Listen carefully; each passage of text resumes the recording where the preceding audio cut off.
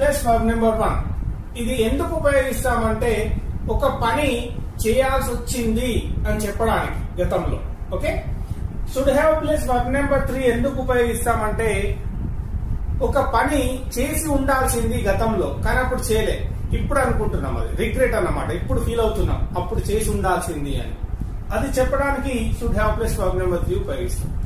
ఇక్కడ ఒక simple trick ఏంటంటే హ్యాడ్ టు అనేది ప్రతి ఒక్క సబ్జెక్ట్తో ఉపయోగిస్తాము.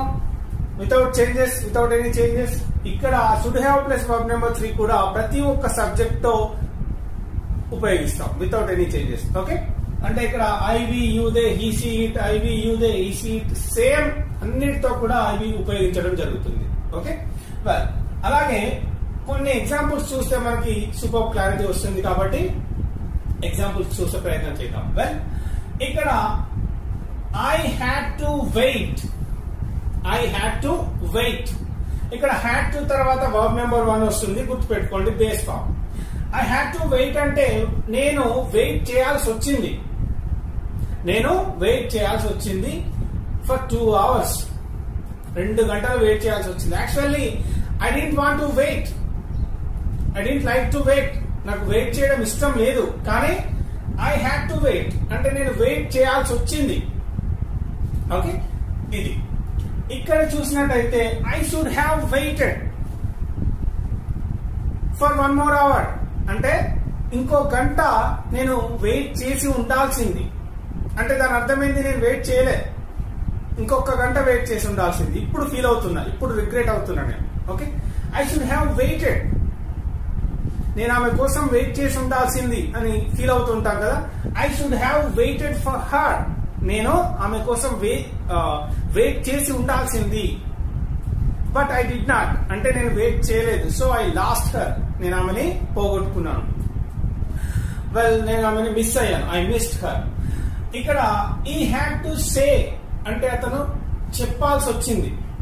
He had to say sorry అతను సారీ చెప్పాల్సి వచ్చింది. Even though he didn't like to అతనికి ఇష్టం లేకపోయినా యూనో అతను తప్పేమీ లేకపోయినా కూడా.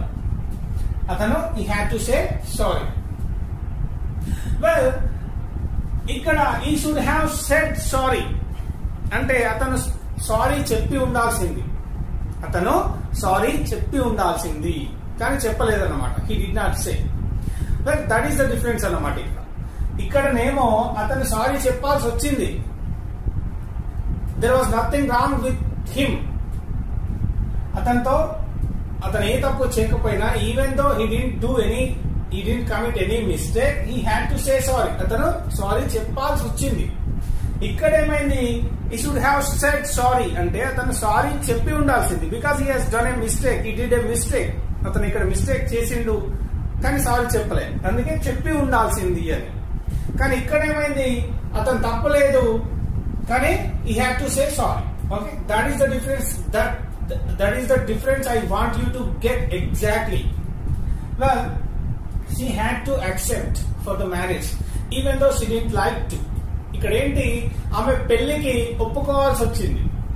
She had to accept the marriage మ్యారేజ్ని accept చేయాల్సి వచ్చింది. లేదా she had to accept the guy ఆ గై ని అతన్ని ఆమె అక్సెప్ట్ చేయాల్సి వచ్చింది. ఎందుకు? Even though she didn't like to ఆమెకి ఇష్టం లేదు. అయినా కూడా ఒప్పుకోవాల్సి వచ్చింది అంటే she had to accept okay ఇక్కడ well the same thing I think I have printed anyway ఇక్కడ ఏంటి? షీ షుడ్ హ్యావ్ యాక్సెప్టెడ్ అంటే ఆమె యాక్సెప్ట్ చేసి ఉండాల్సింది. ఆమె ఒప్పుకొని ఉండాల్సింది అని అర్థం ఇక్కడ. ఇక్కడ ఏమవుతుంది? షీ హ్యాడ్ టు యాక్సెప్ట్ అంటే ఆమె ఒప్పుకోవాల్సి వచ్చింది. ఆమెకి ఇష్టం లేకపోయినా ఆమెకు ఒప్పుకోవాలి ఆమె ఒప్పుకోవాల్సి వచ్చింది అనేది ఇక్కడ అర్థం. ఇక్కడ ఏంటి అంటే షీ షుడ్ హ్యావ్ యాక్సెప్టెడ్ అంటే ఆమె ఒప్పుకొని ఉండాల్సింది బట్ షీ డిడ్ నాట్ ఆమె ఒప్పుకొని ఉండాల్సింది కానీ ఒప్పుకోలేదు అని అర్థం. Okay? Let's go for another example well government had to cancel the exams government ఎగ్జామ్స్ని cancel చేయాల్సి వచ్చింది due to corona something corona కారణంగా ఎగ్జామ్స్ని క్యాన్సిల్ చేయాల్సి వచ్చింది. ఇక్కడ. ఇక్కడ government should have cancelled the exams అంటే గవర్నమెంట్ క్యాన్సిల్ చేసి ఉండాల్సింది. One month ago or you know some other time ముందే క్యాన్సిల్ చేసి ఉండాల్సింది. Right government should have cancel the exams అంటే గవర్నమెంట్ ఎగ్జామ్స్ని క్యాన్సిల్ చేసి ఉండాల్సింది. ఇక్కడనేమో క్యాన్సిల్ చేయాల్సి వచ్చింది. ఓకే? ఈ విధంగా చెప్తాం. ఏదైనా ఒక పని చేయాల్సి వచ్చింది అంటే had to plus verb number one with every person it remains the same and we use the same without any changes and when you want talk about చేసి ఉండాల్సింది అని చెప్పేటప్పుడు should have plus verb number three with the same you know subjective pronoun anyway ఇక్కడ question ఎట్లా చేయొచ్చు అనేది చూస్తే కనుక హ్యాడ్ టు అనేది క్వశ్చన్ ఇది గతంలో ఒక పని గతంలో చేయాల్సి వచ్చింది కాబట్టి గతం అనగానే క్వశ్చన్ ఏది ఉపయోగిస్తామో డిడ్ ఉపయోగిస్తాం క్వశ్చన్ చేయడానికి. అప్పుడు ఏంటి డిడ్ అనేది బయటికి వస్తే హ్యాడ్ టు అనేది ఏమవుతుంది? హ్యావ్ టు గా చేంజ్ అవుతుంది. హ్యావ్ టు ఎందుకు అంటే డిడ్ అనేది పాస్ట్ కాబట్టి తర్వాత మళ్ళీ హ్యాడ్ టు ఉపయోగించడం కరెక్ట్ కాదు. రెండు past things cannot be used in one sentence రెండు పాస్ట్ని ఒకే సెంటెన్స్లో ఉపయోగించదు. అందుకే డిడ్ వచ్చినప్పుడు ఏమవుతుంది? హ్యావ్ టు ఇక్కడ క్వశ్చన్ ఏంటి? Did you have to watch the movie నువ్వు మూవీ చూడాల్సి వచ్చిందా? నువ్వు ఆ మూవీ చూడాల్సి వచ్చిందా? నీకు ఆ మూవీ చూడడం ఇష్టం లేదు but your friend forced you to come and watch the movie that's why you had you have to go to the theatre anyway అడుగుతున్నారు క్వశ్చన్ ఏంటి? Did you have to watch the movie అంటే నువ్వు movie చూడాల్సి వచ్చిందా? Did you have to marry అంటే నువ్వు marriage చేసుకోవాల్సి వచ్చిందా? Did you have to do the job నువ్వు జాబ్ చేయాల్సి వచ్చిందా? Did you have to wait నువ్వు వెయిట్ చేయాల్సి వచ్చిందా? Did she have to do the job ఆమె జాబ్ చేయాల్సి వచ్చిందా? ఇక్కడ షీ వచ్చినా కూడా ఇక్కడ హ్యావ్ టు ఏ వస్తుంది? హ్యాస్ టు రాదు. Please keep it in mind okay did he have to wait అంటే అతను వెయిట్ చేయాల్సి వచ్చిందా? అది గుర్తుపెట్టుకోండి. ఇక్కడ ఆన్సర్ చెప్పేటప్పుడు yes I had to positive అయితే yes I had to if if it is if the answer is yes you can say yes I had to negative అయితే no I did not have to మళ్ళీ ఇక్కడ కూడా గుర్తుపెట్టుకోండి did not వచ్చినప్పుడు have to మాత్రమే. Let's move on to the other side ఇక్కడ చూస్తే కనుక should they have waited outside the hospital hospital బయట వాళ్ళు వెయిట్ చేయాల్సి వచ్చిందా? సారీ చేసి ఉండాల్సింది కదా? వాళ్ళు హాస్పిటల్ బయట వెయిట్ చేసి ఉండాల్సిందా? లేదా let's take an another example ఇక్కడ should the government should the government